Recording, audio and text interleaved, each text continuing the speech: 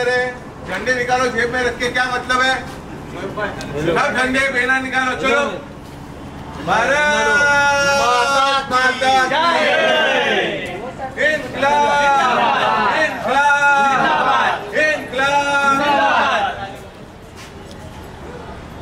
BMC मस्त है वर्सोवा त्रस्त है।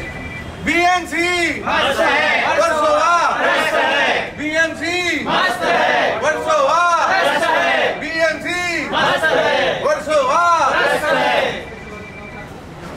भारत माता की। भारत माता की। वंदे। वंदे। भारत। माता हो पाहिजे तर तुम्ही. नाही तर तुमच्या वॉर्ड अध्यक्षला सांगा कोण आहे तुमच्या सिक्युरिटी इंचार्ज कोण आहे सिक्युरिटी इंचार्ज तुमचे? हा आम्ही थांबतोय आरामात नाही आम्ही. अरे नाश्ता विस्ता किया तो आवाज तो जरा निकालो भाई!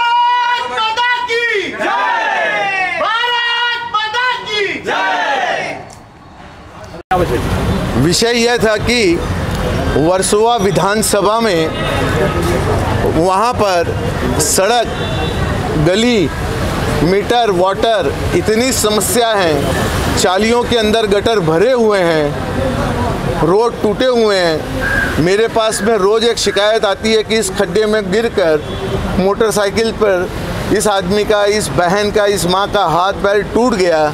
मेरे कार्यकर्ता वार्ड अध्यक्ष, सारे पदाधिकारी जब बीएमसी के अंदर आते हैं के वेस्ट के अंदर तो ये बिल्कुल भी इनको इंटरटेन नहीं करते। और इंटरटेन ही छोड़िए, मिलने के लिए भी तैयार नहीं हैं। वार्ड ऑफिसर पृथ्वीराज चौहान से मैंने बात की थी सुरक्षा भेंट देने की। उन्होंने कबूल किया कि आप पदाधिकारी लोगों को लेके आएँ और सुरक्षा भेंट दें। पर जो टाइम दिया, उस दिन वो खुद नहीं थे।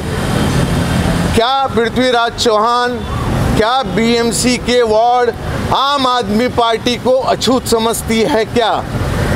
वो अगर हमें अछूत समझती है तो मैंने तो मैंने आज उन्हें ये बताने की कोशिश की कि आम आदमी पार्टी लोगों के दिल पे राज करती है।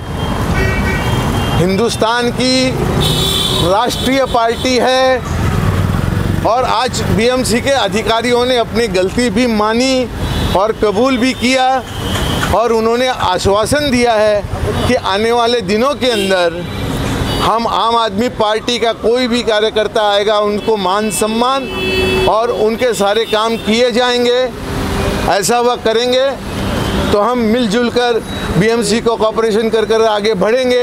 अगर वो ऐसा नहीं करते तो यह आंदोलन इससे भी तीव्र इससे भी ज़ोर से हो सकता है। Thank you ji.